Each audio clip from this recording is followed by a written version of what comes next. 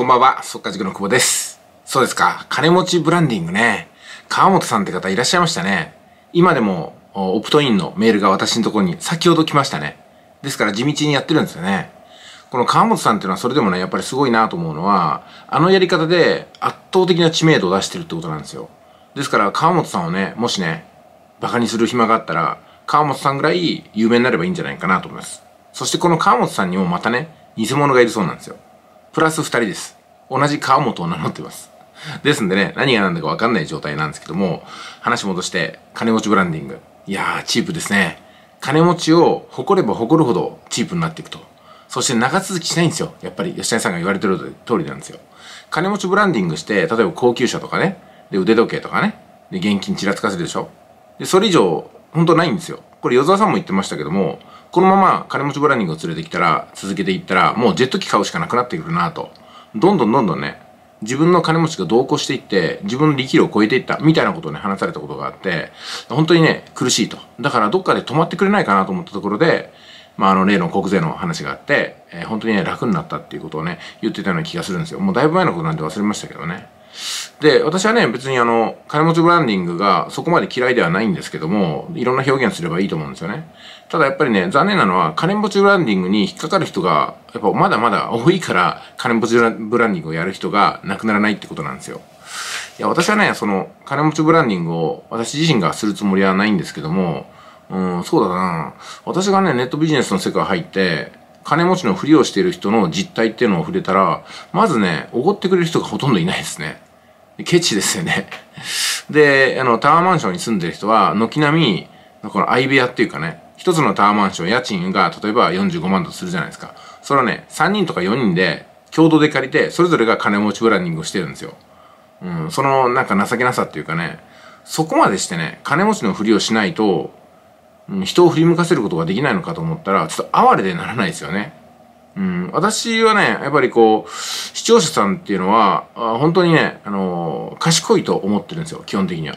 視聴者さんは賢いと。少なくとも私よりは。まあ、ですので私が演技をすればすぐにバレると思ってるんですよ。そうなると、私は演技も何もなしで、このまんまの姿を出した方がいいかなと思ってるんですよね。それはね、初めて私が速稼塾を始めて動画を撮った時から変わりません。全く嘘をつかないようにね、例えば自己アフィリエイトの方法を教えますと。で、ネットビジネスで1万円以上稼いだことのある方は来ないでください。そしてネットビジネスの勉強会に参加する資格のある人は Gmail が自分で取れる人。ね。これでスタートしてますからね。それで2万円以上の売り上げが立たなかったら弁償しますと。セミナー代は1万9800円と。金持ちの入る要素どこにもないですね。しかも私のその速稼塾を始めた頃っていうのは麻雀店赤字ですからね。赤字の中から何が速稼塾だと。すぐ稼ぐ塾。お前の店赤字じゃねえかみたいなね、感じですよね。うん。なかなか面白いんじゃないですかね。だからね、吉田さんがね、借金をありながら、高額の商品が売れていったっていうよりも、同じで、私もね、借金があるのに、こっちでは稼いでいたというね、このパラドックス。なかなか面白いですよね。だから金持ちブランディングっていうのは、本当になんかこう、うん、なんか、徒労でしかないなと。まあ、少なくとも私にとってみれば、金持ちブランディングをするよりも、自分がいかにね、えーできてないのか、いかにね、40歳以上なのか、いかにね、パソコンをこれでやったのか、いかにね、あのー、クロームブック1万2000の中古品で、自己アフィリエイトだけで稼いでいったのかってことをね、出す方が、嘘がなくて楽かなと思いますし、表現したこと全てに答えられるんで、これまた楽ですよね。だから嘘をつくとね、本当にきついんですよ。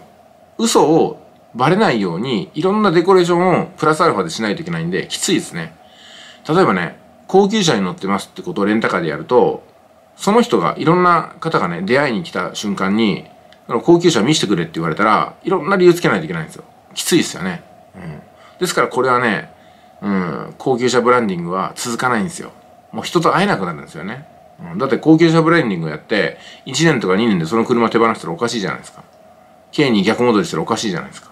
だからね、ずっと、その金持ちブランディングをした車を維持しとかなくていけなくて、結局お金なくなるんですよ。だからね、あんまりやめた方がいいですよね。吉田さんの姿見たら本当にね、すごいなと思うのが、あの、R34 ね、あれを維持しつつ、もう一台、BMW 買ってるわけでしょ。いや、すごいですよ、これは。あの、車のね、複数所有ってのは本当きついですからね。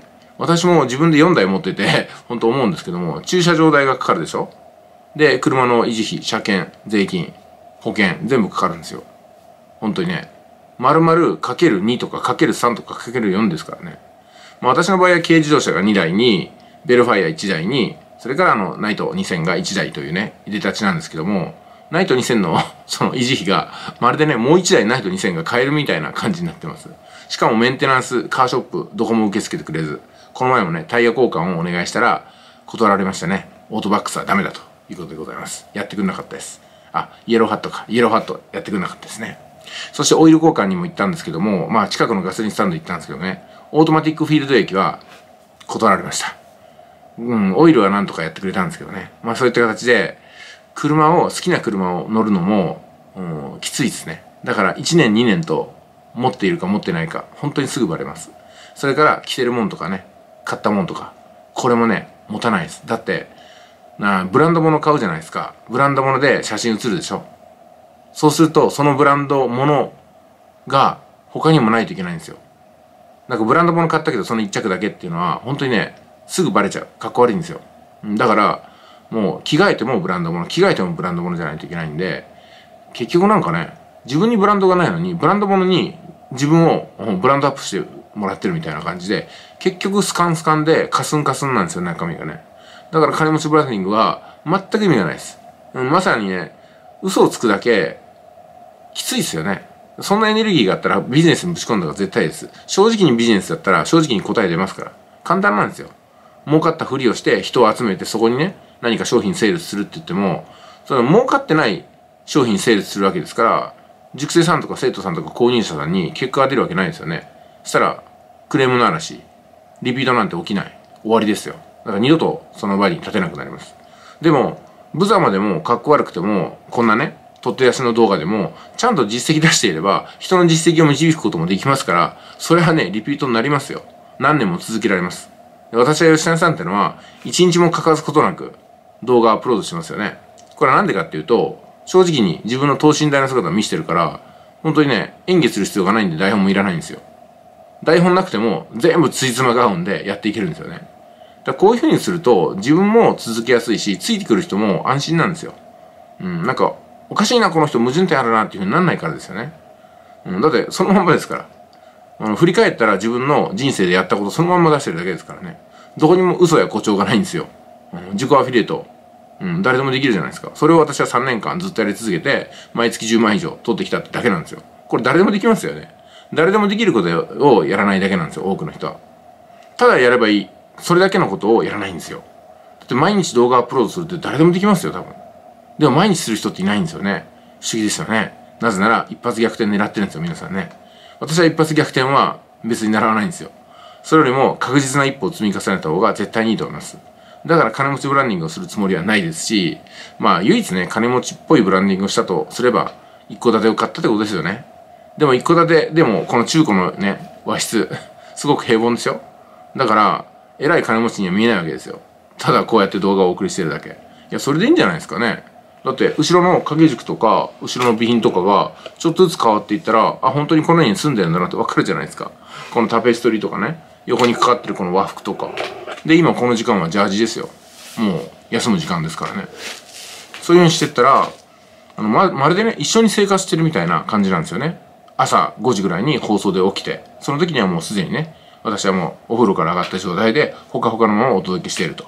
で、24時間、時間があるからずっと、なんか知んないけど YouTube の新規のアップロードが続いてると。ね。これ自由でないとありえないじゃないですか。で、いきなり京都行ったりね、いきなりあっちこっち行ったりとかね。自由だからなんですよ。しかも私の口からお客さんって言葉は全く出ないというね。出ないでしょ？お客さんいないですからね。お客さんに成立してるわけじゃないんですよ。熟成さんはいますよ。熟成ってのはあくまで弟子ですから。それはいますけども、お客さんっていないんですよ。お客さんに物ってことないですから。すでにお客さんいないんですよ、私は。速稼塾の熟成、弟子がいるだけなんですよ。うん、だから、お客さんに成立しないとなーって感覚もないです。熟成さんに、えー、トレーニングをする場所を提供したりとかね、そのために課金をするだけなんですよ。うん、金持ちブランディングね、本当に虚しいと思いますよ。でも金持ちブランディングをやってみたいという気持ちはわかります。でも本当やりだしたらね、きついですよ。だって金持ちブランディングやって、金持ちじゃなくなる瞬間なんて絶対見せられないんで、きついですよ。で、私はね、少なくとももう一回ぐらい自分自身転落する恐れがあると思ってるんですよ。何が起こるか分かんないですからね、人生。まあ、それも覚悟しながらやってるわけなんで、だからいつも新しい挑戦をしてるんですよね。2017年から始めた FX は、2020年になって教材を販売するまでになりました。でもね、4年かかったらね、FX だって身につきますよ、それは。全然おかしいことじゃないですよ。それこそね、普通は1年とか2年で結果出さないといけないのに、私4年もかかってるわけですからね。人よりも歩みは遅いです。でも歩みは遅くても FX で勝てるようになれば、これから先の生涯ずっと FX で勝てるわけですよ。だから別にどっちでもいいです。1年で身につけようと、4年で身につけようと、10年で身につけようと、そっからの人生お金に困んない、FX でお金を取り出せるような人生になるんだったら、別に私は10年かかっても早いと思いますよ。だからこれがね、私の金持ちブランディングです。持ち物も変わらないし、住まいも変わらないし、贅沢な暮らしをしてるわけでもないのに、FX の力がつきました。それは相場の解説で証明できるということですよね。うん、すごく楽だなと思いますよね。えそして YouTube ですよね。YouTube の広告収入、他、YouTube の販売売上これももう明確ですよね。だって、いくらでいくら売れたって言ってるわけですから、いくらでいくつ売れたっていうふうに計算できるじゃないですか。ね、前回も FX の教材も売れましたし、速稼塾のね、えー、カリキュラム、これがね、えっと、お正月に売り込みするんですけども、2018年か。2018年に販売した時ってのは、一晩で400件売れますからね。400件。400件売れたってことはどういうことですかね？30万かける400件ですよ。1億2000万ですか？ね、すごいですね。でも、頭金で OK よって言ってますから、もしかしたら1200万かもしれませんね。でも、全額払った方も2割ぐらいいるんですよ。ってことは、1200万から1億2000万のうちのどれかが一晩で売り上げ上がったってことがすぐわかるんですよね。うん。熟成さんがすごく多いですよ。47都道県にいて、えっ、ー、と、14カ国にいるわけですよ。うん。だから金持ちブランディングはしてなくても、こういうことを数字でね、時々刻々とお知らせしていったら、大体想像がつくんじゃないかなと思います。まあ、ちなみに私別に金持ちではありません。なぜなら なぜならですね、すべて経費で消えてるからなんですよ。うん。お金持ちじゃないですね。ただね、大贅沢しなければ、このように自由な暮らしは私が死ぬまで続くと思います。大贅沢しなければね。だから大贅沢はしません。ごく質素に、ごく普通に、そしてたまに贅沢に、このぐらいで私はいいペースだなと思ってますんでね。金持ちブランディングは全く必要ないです。金持ちブランディングすればするほどボールが出やすいです。金持ちブランディングは続かないんですよ。金持ちブランディングはね、筋金入りの金持ちだったらいいんですけども、じゃ今度は、ね、筋金入りの金持ちがブランディングをした上で、こう引き寄せられた人って、もう教育のしようがないですよね。だって筋金入りの金持ちになりようがないじゃないですか。そういう人は一部なんですよ。私たちはにわか金持ちっていうかね、本当に障害賃金を早めに稼いだ人、一丁上がりになった人、そういう人が、まあ、金持ちと言えなくもないかなと思うんですけども、うん、でもね、やっぱりそんなに金持ちにはなれないです。あの、2億3億稼いぐらいでは。これはね、サラリーマンの障害賃金を早めに稼いだだけで、その後遊んじゃいますからね、どっちにしても。うん、やっぱ一生、金稼ぎとか仕事とかでは、やっぱり人生ってやっていけないんで、うん、ある程度のお金ができたら、まあ、陰気じゃないですけどね、うん、休憩すると思いますよ。うん、まあ、それでいいと思いますしね。はい、いろいろと申し上げましたけども、金持ちブランディング、金持ちブランディングはね、本当はきついんで、私はやめた方がいいと思いますね。うん。で、今日もね、あのー、金持ちブランディングではないんですけども、なんか Facebook で友達申請が来て、承認したら、その人のタイムラインっていうのが見れるんですけども、うん、なんかね、あの、バッタもののブランドもの、ブランドもののバッタを、なんかずっとタイムライン貼り付けてるんですよ。いや、これはね、これは、ほんと付け焼き場だから、うん。やんない方がいいかなと思いますね。こんなことしなくても、売れますよ。そんなインチキなもの売らなくても。ちゃんと高額なものとか、いや、本物のね、ルイ・ヴィトンの方が売れますよ。偽物のルイ・ヴィトンよりも。偽物のルイ・ヴィトン買った人と付き合いたいですかってことなんですよ。まあ、付き合うのは全然いいんですけども、そういうふうにね、偽物で何か欺くとかね、自分を高く見せようとする人っていうのは、うん、まあ、全部が悪い人ではないですけどもね、ちょっと考えながらお付き合いした方がいいかなとは思います。うん、まあ、私は別にあんまり気にせずに付き合っちゃうんですけどもね、アドバイスするとしたら、ですよ。うん、まあ、そんなとこですかね。金持ちブランディングは、まあ、もう古いですよ。うん、等身大で正直な放送が私はいいと思いますけどもね。それでは、いってらっしゃい。